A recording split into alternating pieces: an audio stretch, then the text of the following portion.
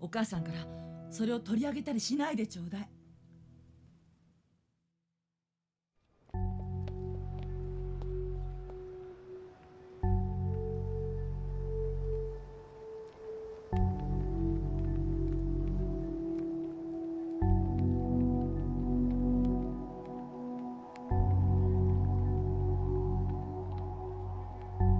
神は俺が必要としてる時はどこにいるんだよ。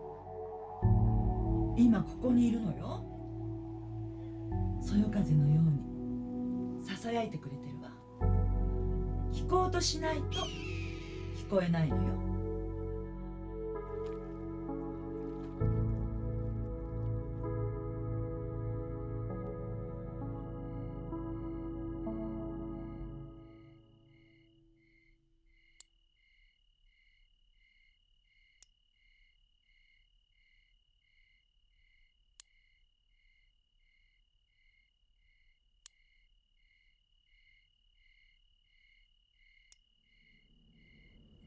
なあ、カズ。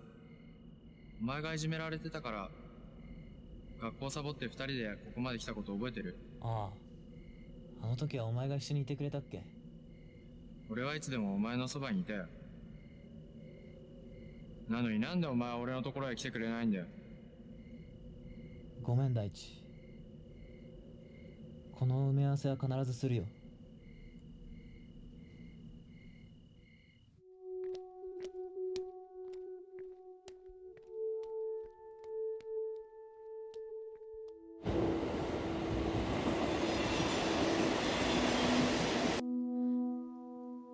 か気持ち悪い。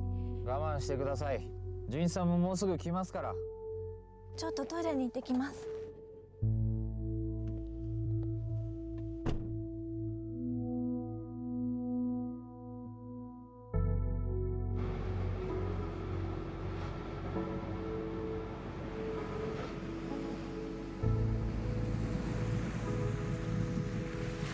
まあ、最終的にはどうでもいいことだけどさ。俺たちって、虫眼鏡で焼かれるアリみたいなもんだし。一匹は今日死んで、もう一匹は逃げられるかもしれないけど、来週死ぬ。最終的にはみんな死ぬ。逃れられないんだよ。お前ももうすぐこっちに来るしね。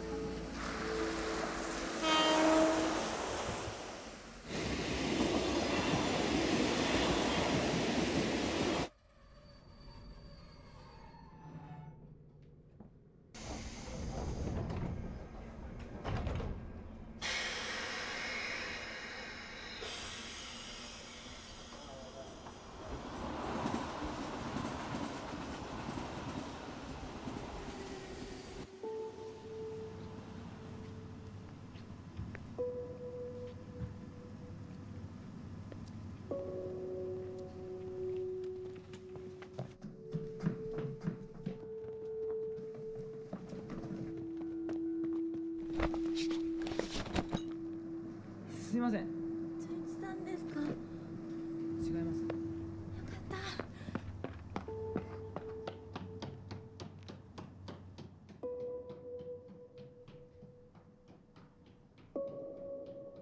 ねえちょっと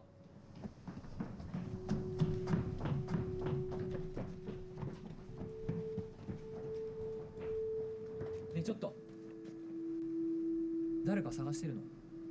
いいえ。白いシャツ着てる人見なかった？見てないけどなんで？わかんない。もう何もかもわかんないんだよ。命についても死についても。私も同じ。何もかも意味がないように思えるんだけど。死ぬのはやっぱり怖い。純一さんですか？